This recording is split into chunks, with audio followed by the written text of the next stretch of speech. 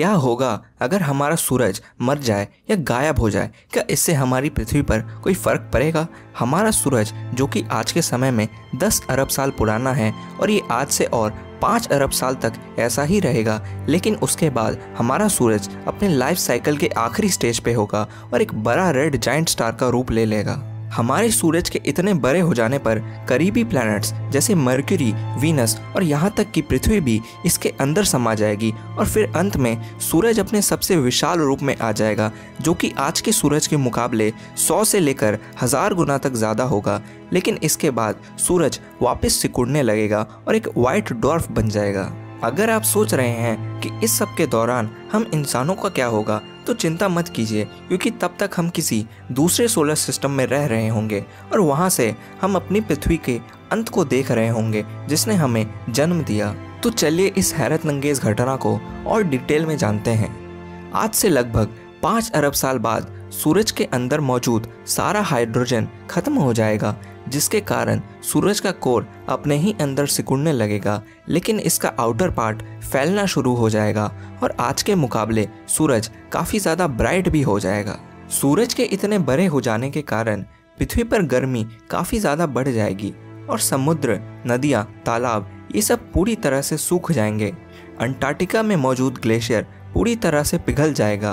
पृथ्वी का surface temperature 100 degree Celsius से भी ज़्यादा हो जाएगा। लाइफ फॉर्म की बात करें तो सारे जानवर इस समय पानी की कमी की वजह से मर चुके होंगे। वो ही जीव जो कि पृथ्वी के अंदर रहते हैं, जैसे अर्थवॉर्म वो इस समय भी ज़िंदा होंगे और फिर कुछ और सालों के बाद सूरज विराट रूप ले लेगा, जिसके कारण पृथ्वी पूरी तरह से इसके अंदर चली जाएगी और पृथ्वी का अंत हो जाएगा। लेकिन हमारे सूरज की तरह बाकी सूरज भी रेड जाइंट नहीं बनेंगे। उनके मरने की प्रक्रिया हमारे सूरज से काफ़ी अलग होगी।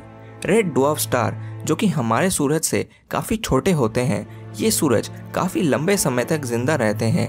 लेकिन जब इनका सारा फ्यूल खत्म हो जाता है, तब ये रेड जाइंट बनने की बजाय धीरे धीरे सिकुड़ने लगते हैं और ख़त्म हो जाते हैं। लेकिन वाइट जाइंट स्टार जो कि हमारे सूरज से काफ़ी बड़े होते हैं, वो एक बहुत बड़े धमाके से मरते हैं।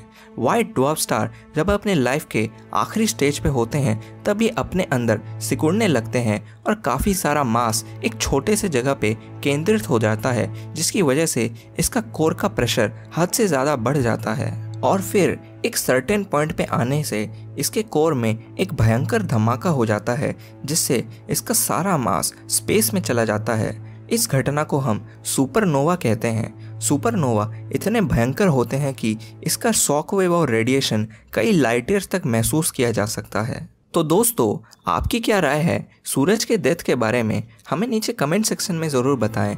और अगर आपको सूरज के बारे में और जानना है तो इस वीडियो पर क्लिक कीजिए। और ये वाली वीडियो अच्छी लगी हो तो लाइक ज़रूर कीजिएगा और चैनल को सब्सक्राइब कर लीजिए। और ऐसी ही इंटरेस्टिंग वीडियोज़ देखने के लिए।